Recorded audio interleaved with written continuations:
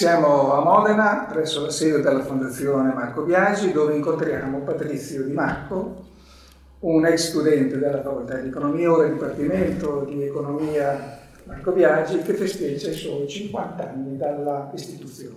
Due brevissimi ricordi che ci riportano al direzionale 70, dove la facoltà aveva la sua sede. Un giorno Patrizio Di Marco viene e dice io voglio andare un anno in Giappone. Detto e fatto. L'anno dopo torna, frequenta il quarto anno perché quando uscì lui era il terzo anno del corso di laurea in economia e commercio, torna al quarto anno, frequenta i corsi, sostiene gli esami e prepara la sua tesi di laurea, la filiale nello sviluppo internazionale dell'impresa. Antonella Pesciu, poi cominciare l'intervista. Grazie. Grazie. Beh, innanzitutto adesso dopo questa presentazione eh, quello che chiedo per primo è di raccontare un po' le tappe del tuo percorso professionale. Io ero, penso all'espressione massima della confusione, avrei voluto fare il pittore o il disegnatore di fumetti, poi mi sono reso conto che non avrebbe mai pagato questo lavoro, non avrebbe mai pagato i conti, le bollette, quindi un po' torto collo, non volendo fare giurisprudenza, perché mio fratello che ha fatto un avvocato faceva quella facoltà, scelse economia. Quindi assolutamente senza un obiettivo specifico. Nel corso degli anni capii che volevo fare qualcosa che avesse un, al centro un prodotto e avesse un consumatore. Il marketing era il modo in cui io pensavo e sentivo di poter esprimere diciamo, questa mia creatività da disegnatore, diciamo così, perché era una cosa ed è il marketing del largo consumo. Al tempo era un'azienda tessile più importante d'Europa, ormai defunta purtroppo, che si chiamava GFT, al secolo Gruppo Finanziario Tessile, mi chiama dicendo noi avremo un'azienda piccola delle tue parti uh, nello sportswear che abbiamo comprato due anni fa Uh, tu hai ottime scuole, ma soprattutto parli giapponese. Ho detto questo cosa c'entra? Perché abbiamo appena fatto una joint venture con la Mitsui Bussan, la Mitsui Trading, una delle principali ancora adesso trading giapponesi.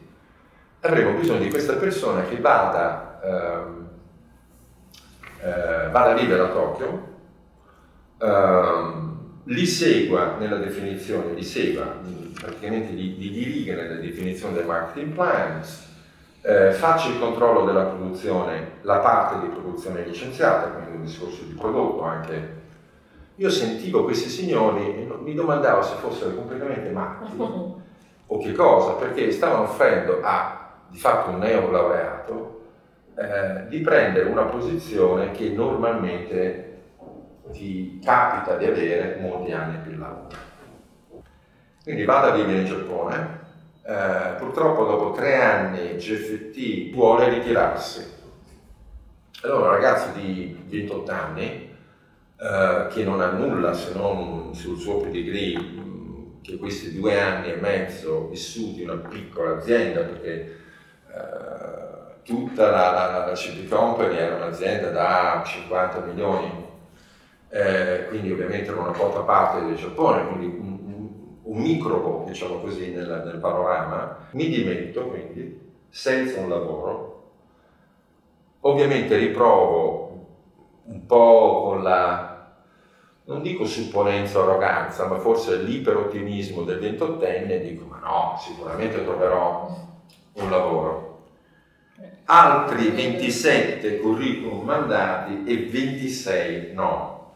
Incominciavo, stavo incominciando a preoccuparmi eh, ero peraltro anche già sposato, quindi non ero neanche solo, a preoccuparmi fin tanto che un signore, eh, che Dio lo abbia in gloria, al secolo Ichiro Taniuchi della Egon Zender mi chiama e mi dice avremo una piccola azienda italiana che ha un, uh, una serie di negozi in franchise in Giappone.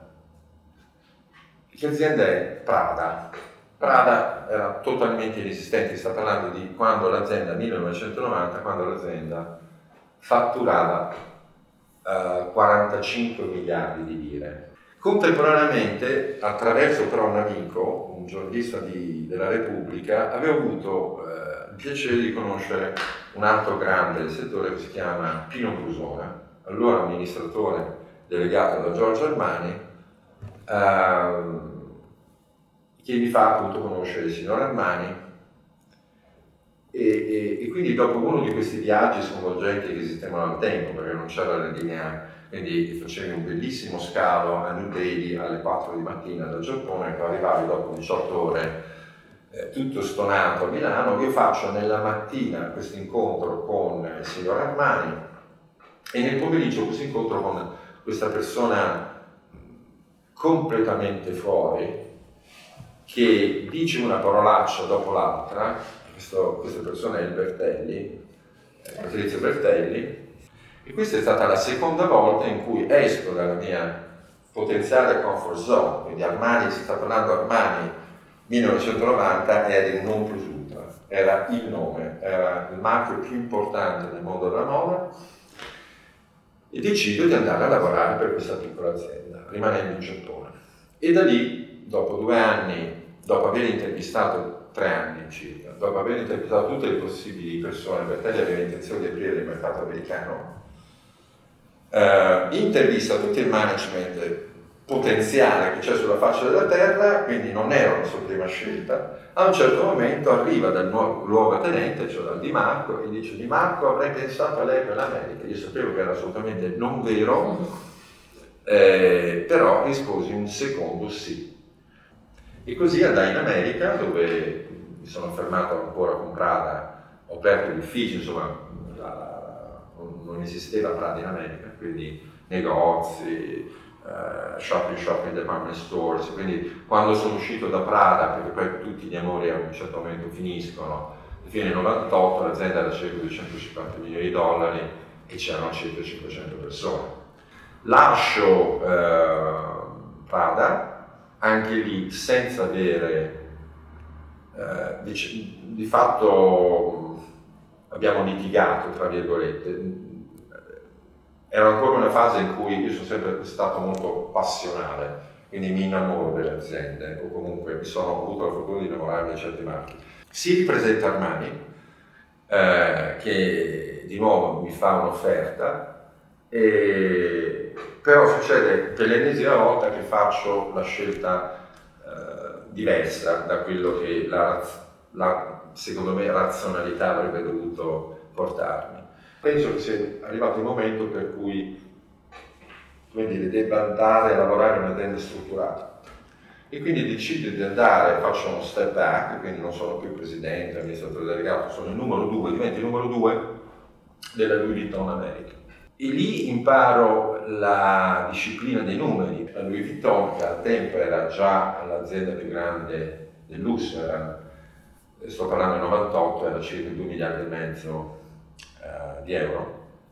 E, e, c'erano dei processi, delle procedure eh, estremamente eh, codificate. E c'era anche la, eh, come si dice, la, la, la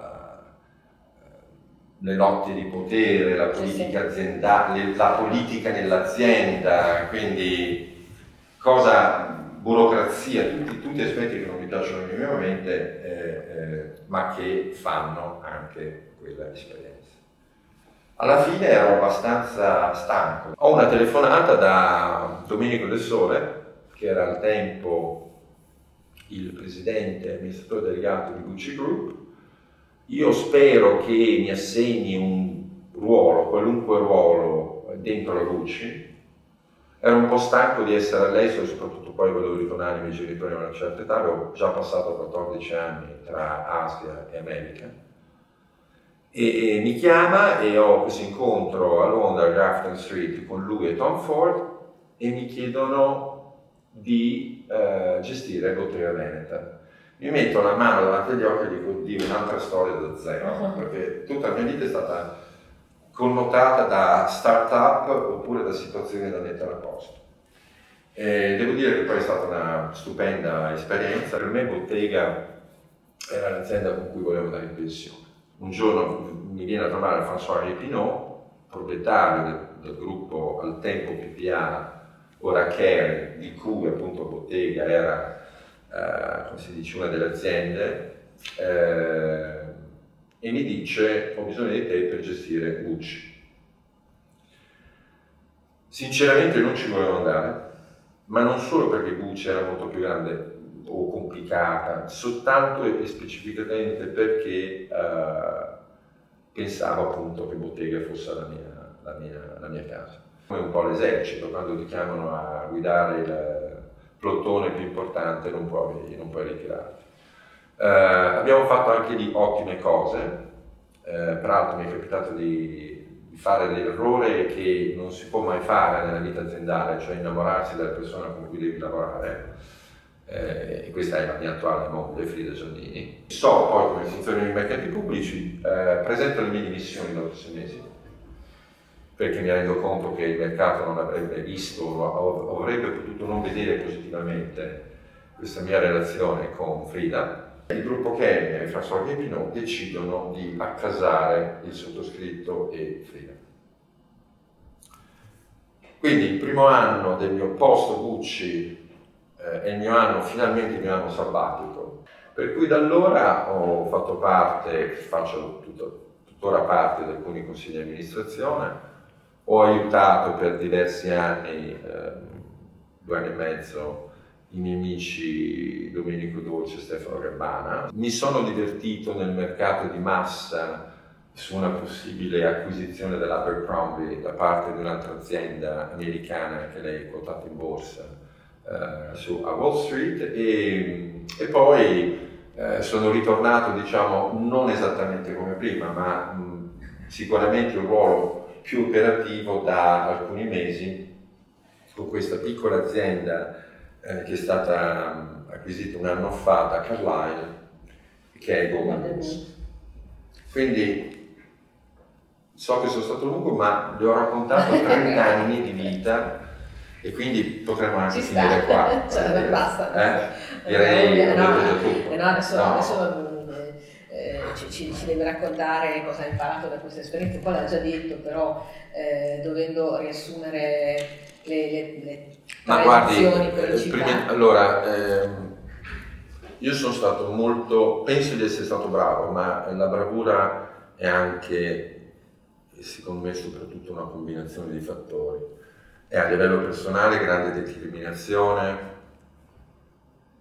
eh, se vuole senso di sacrificio, soprattutto un senso di umiltà, perché non importa dove sei arrivato, devi avere la voglia di imparare e tu la voglia di imparare ce l'hai se sei umile.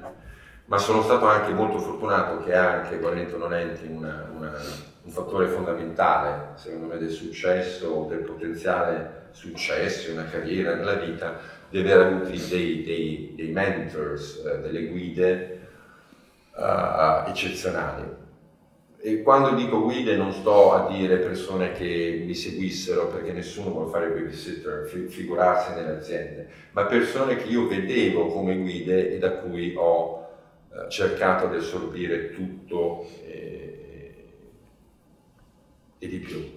Che caratteristiche deve avere oggi eh, un leader di una grande azienda del, del lusso e della moda? Ti dico quello che io personalmente ritengo debba avere un, eh,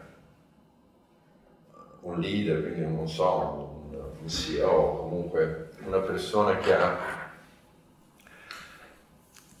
eh, e questo a prescindere dal settore. Beh, prima di tutto un CEO dovrebbe avere, dovrebbe avere l'umiltà, eh, che poi la esprima o meno non è tanto importante, ma l'umiltà di capire che da solo non va da nessuna parte. Un CEO non importa quanto sia bravo, non va da nessuna parte se non ha un team di persone in campo.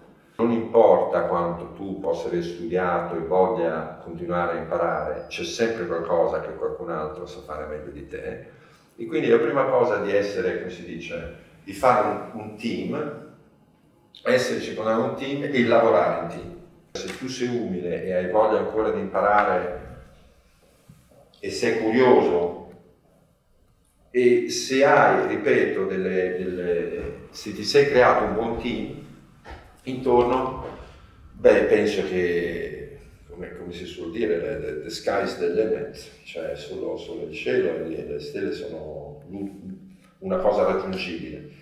Senza di questo non vai, secondo me, da nessuna parte. In tutto questo, dopo tutta questa storia e tutto questo, questo, percorso così eh, brillante, eh, che cosa ti è rimasto di quello che hai imparato a Modena? Ricordo, adesso non lo dico perché è il professore, il mio relatore, il mio, eh, ed è seduto qua, Tiziano, però ecco, il, il, il, fatto di parlare, perché poi se non lo vedevi eh, nel allora tecnica di commercio internazionale, si detta ora presumo marketing o marketing strategico, ehm, era il modo eh, attraverso le sue lezioni, attraverso, attraverso, i testi, di vedere il mondo, eh, il modo per, per era, erano i primi passi, presumo anche a livello didattico, per cose che somigliavano molto a dei casi. Mi è capitato anche di riprendere dei testi universitari, soprattutto i primi anni, perché non mi ricordavo più come si facevano determinate cose, volevo fare bella figura,